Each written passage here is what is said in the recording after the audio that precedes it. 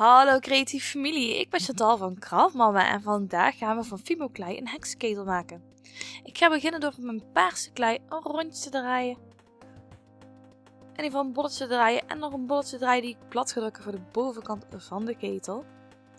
En ik maak hem dus in Halloween kleuren, maar je kunt natuurlijk in iedere kleurcombinatie maken die jij wilt.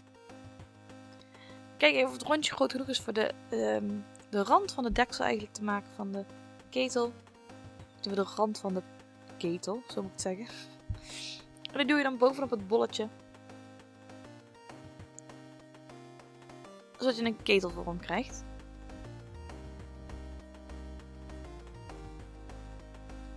En ook alles wat ik gebruikt heb kun je onder in de beschrijving vinden.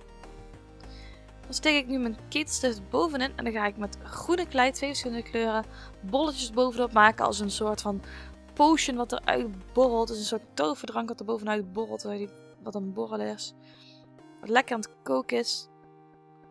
En dat plak ik zo eromheen en zo blijft de ketelstift ook goed zitten. Doe gewoon allemaal verschillende maten bolletjes erop plas plakken. Dat de hele bovenkant eigenlijk gevuld is. dan moet je gewoon even een beetje op het oog doen. En gewoon allemaal verschillende bolletjes gebruiken. En dat kun je dus met iedere kleur doen die je wilt. Maar ik vind de combinatie zo van groen en paars ongelooflijk leuk. Dan heb ik je zwarte klei. Die twee bolletjes draaien, dan ga ik de ogen uit maken.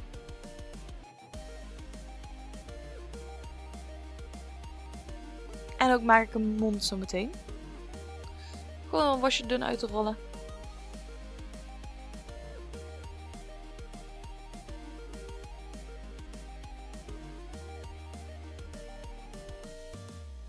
En dan werkt het ook bij met het mesje. Voor iedereen die wil weten wanneer de henna-uitslag komt, er komt zondag nog een video. Want ik heb mijn schema een beetje aanpassen. Ik ga er maar twee video's per week maken.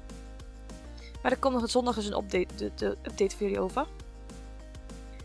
Dan doe ik twee kleine bolletjes roze op de wangetjes plakken en witte bolletjes in de ogen voor het licht plakken. Dus voor de highlights.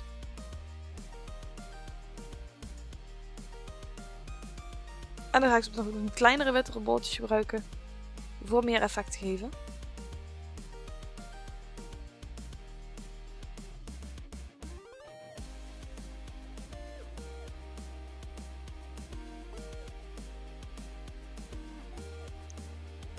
En dan nog meer balletjes.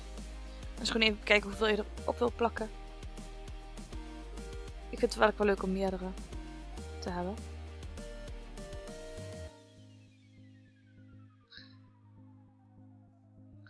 Dus in principe al bijna klaar. Ik ga nog iets meer groene bolletjes bovenop maken voordat ik hem af ga bakken. En doe ik zelf op 120 graden gewoon in mijn eigen oven. Daarna laat ik de oven gewoon even een half uurtje luchten en daarna kun je gewoon weer gebruiken.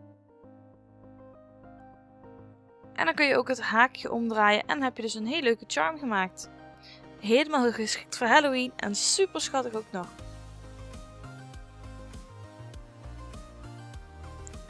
En hier is ons eindresultaat. Ik vind het een super leuke heksenketel geworden en ik hoop jullie ook. Laat me weten wat je ervan vindt. Video. Vergeet niet om een van de video's hier om me heen te bekijken voor gerelateerde content.